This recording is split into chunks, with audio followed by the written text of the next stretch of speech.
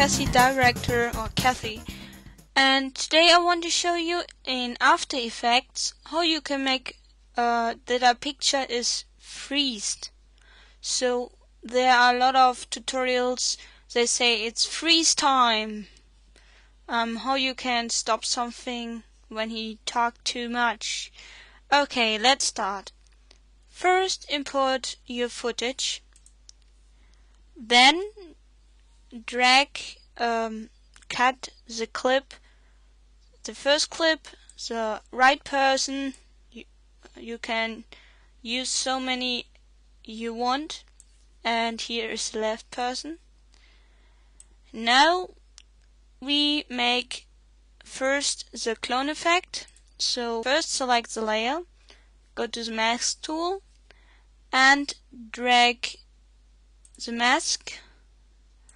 The best is when you use a line around the second person, uh, so, so the right person. And now you see there are all, you are cloned.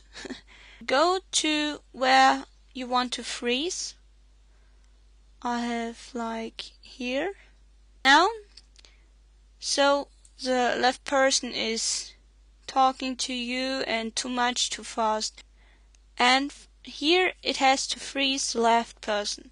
Go to the left person layer like this here and cut it. Then go to compos composition, save frame under date and now you get this window here go to render and go back to the layers here. Go to here.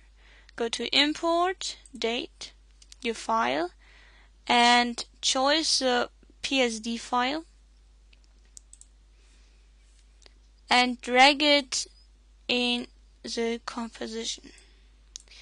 Now go um, I hope you have um, stopped where you have cut the clip.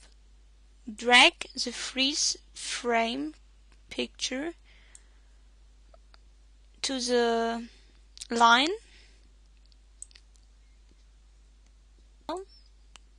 I go forward like this. And now it doesn't freeze frame because you have here your clip. So drag it a bit like this here and now let's try again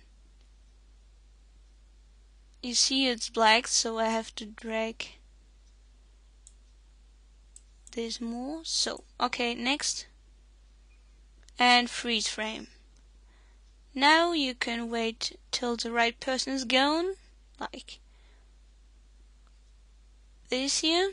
And now make like this. Okay, here we have first the clip from the right person. You can use it in the whole clip. The second clip is the clip from the left person.